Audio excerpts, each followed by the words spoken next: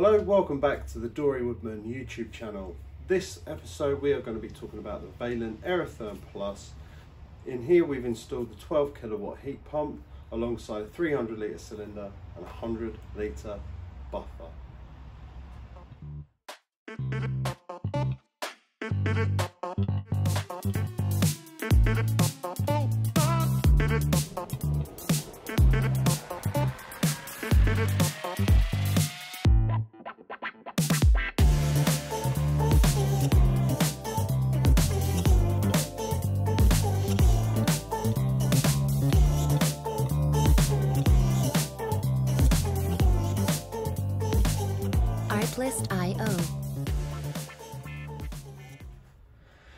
So I'm going to quickly show you through some of the components in which you would typically want to put together should you be looking to put in a Vaillant Arotherm Plus for an existing system.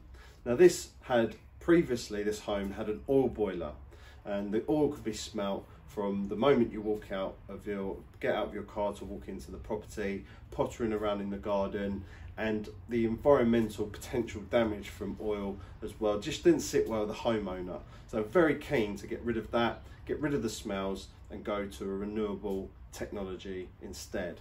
So after calculating and looking at this property, you know, what was um, going to be required for heat loss and what would be the most appropriate for this home, and we looked at the Vaillant Arotherm Plus and it ticked all of the boxes. Now for this system, we've got radiators served throughout. There is an extension at the far end that was done a few years back, which has got an underfloor heating system in, but it's quite small. So we had to consider, you know, radiators that might have been um, upgraded and any um, additional radiators that were required. So we calculated that and we've changed a couple of rounds. We put a couple of uh, extra radiators in um, just to make sure that we're going to, you know, not compromise on the heat for the home. Now we're very fortunate and you might look at this as an install thing, oh my goodness, do you need all of this space in order to put in this kind of system? No, you don't.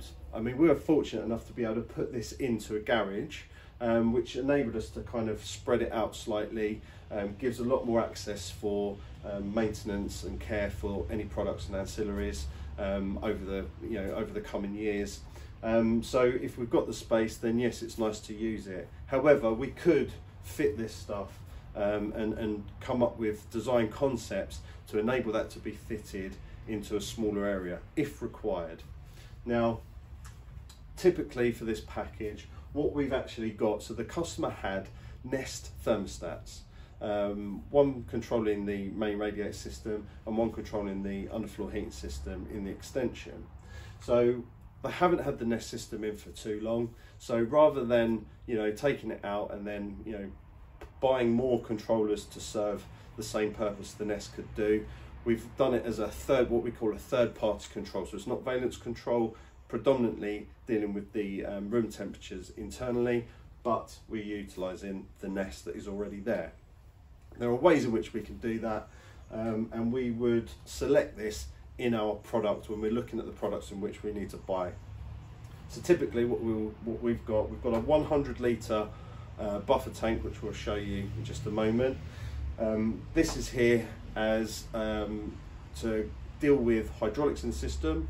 Um, it can be utilised to have a vessel of hot water so that the uh, response to the heating system is quicker and it can also draw some of the heat from the buffer um, to go into defrost for the heat pump itself.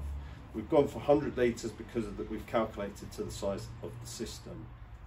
We've got a 300 litre unvented hot water cylinder. Works exactly the same as any other hot water cylinder, although it has to be um, has to have the coil and you know the ability to be able to heat sufficiently with a heat pump. So it has to be kind of a heat pump ready one, it has to be specialised for heat pumps themselves. Um, the reason is that they have a larger coil surface surface inside of the cylinder because it will need um, to charge that um, or regenerate the heat inside of the cylinder um, and, and, and do that adequately. Um, and then all of the rest of the ancillaries, so we've got expansion vessels, one for hot water, one for the heating. It's a mains pressured system and a sealed system for the, um, for the central heating. And then we've got stuff like your pumps, um, two port valves, uh, we've got a three port valve, which is a basically diverts from either giving you hot water or heating. So you know installers out there will understand you know the concept of those. Uh, a couple of electrical points. One being for control. Um, this uh, basically will give um, a, a, lot of the uh, ancillaries are wired into this section, and this is kind of signalling to what the heat pump is to do. Um, and then we've got a wiring center, which is a VR um, 71. You'll need to have some form of wiring center if you've got multiple points to which you are um, you know, looking to zone, for instance, so for heating zones. And what that will do, it will just basically act as like a bit of a relay switch. So, but it's something to bear in mind. So if you've got, you know, a couple of controls and, you know, various bits and pieces that need to be required on that, you just need to think about that in the design period. We've used the VR71 um, to make sure that all of the components will work in sync with the whole system. Then we've got the Senso Comfort, which is the main control where you set up all of your parameters for the heating system. Um, you know, the heat curve, for instance, you know, what, what, temperatures you want to be able to provide for the heating system, um, you know, activating what's going on with the hot water system. And also, you know, it, it will be linked up to things so you can check the temperatures for, um, you know, some of the flow sensors, for example, the outdoor temperature sensor, um, you can actually use the Senso Comfort as a room thermostat alternatively if you wanted to. So you can still do all the design parameters. And if we hadn't had the Nest in place, we would have used the Senso Comfort for one of the heating zones internally. And then we've got the Nest. As I've said, what we've done is we've put this in as a third party um, heating control. So it will talk to the heat pump and it will tell it when it's requiring for heating um, and it will obviously do whatever it needs to do at the time when it switches on. And then we've also got the Senso Net. Now the Senso Net is your internet connectivity.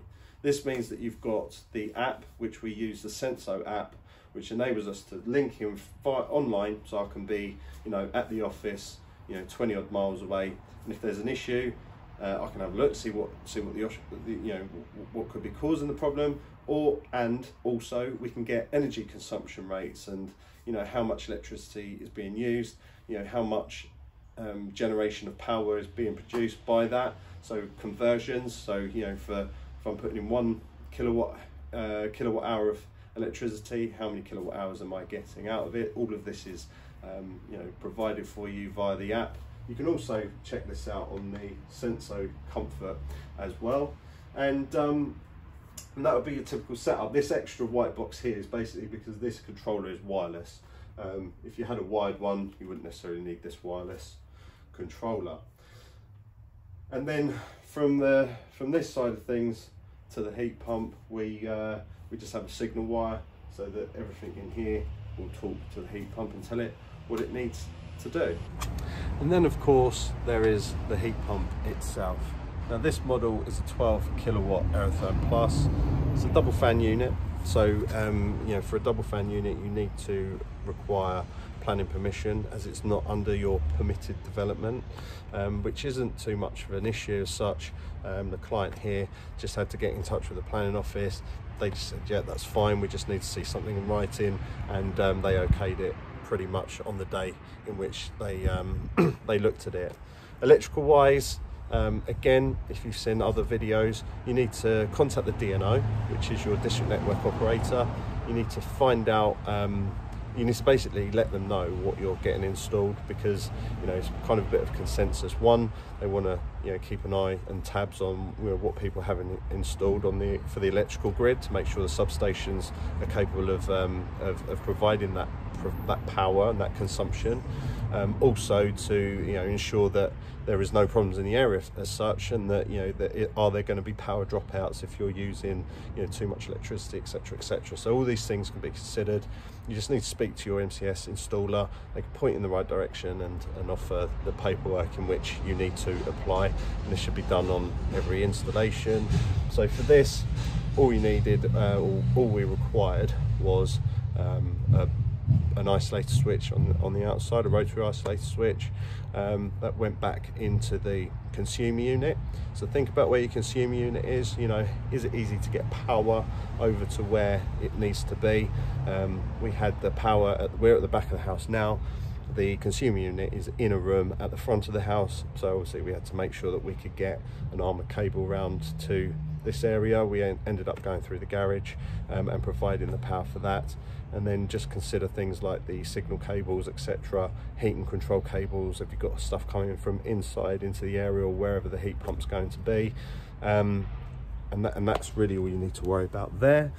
So over here where we've got the uh, little um, kind of garden uh, shed tiny thing that they're going to be putting plants or vegetables in um, that was where the old oil tank was sat.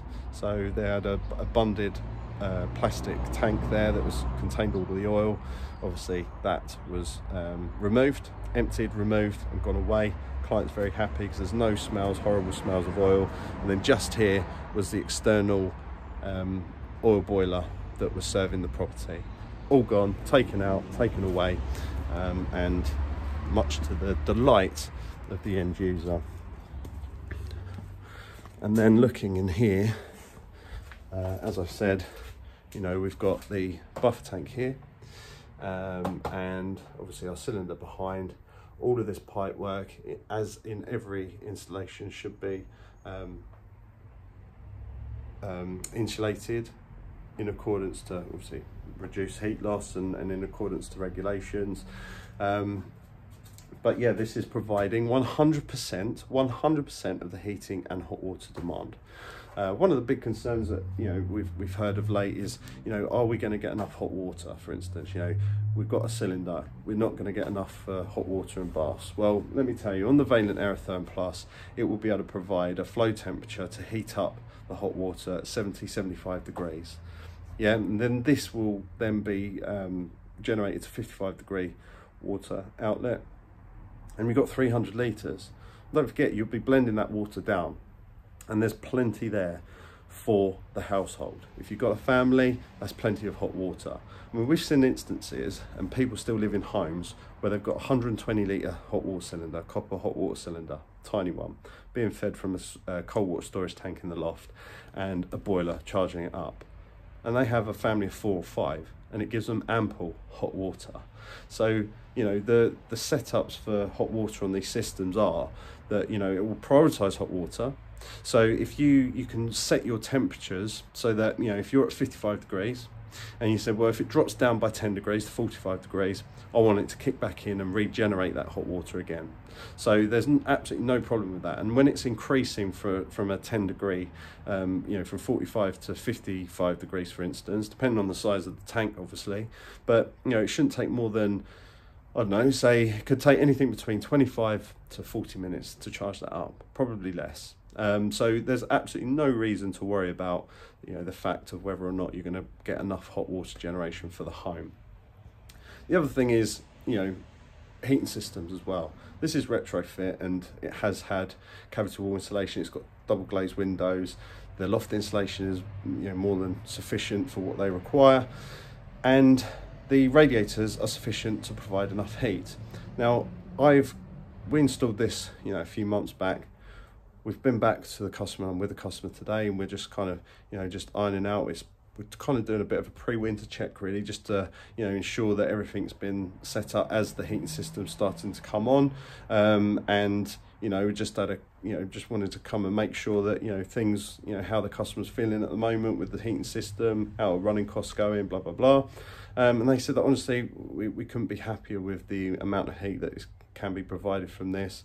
Um, and we're so pleased to be away from this oil as well. Um, they've got ample hot water all of the time. They've got control via their phone to, you know, look at ways in which if they go away for a weekend, for instance, they can put it in holiday mode, etc., etc. So, you know, you can utilize these systems and um, you can be rest assured that you will get.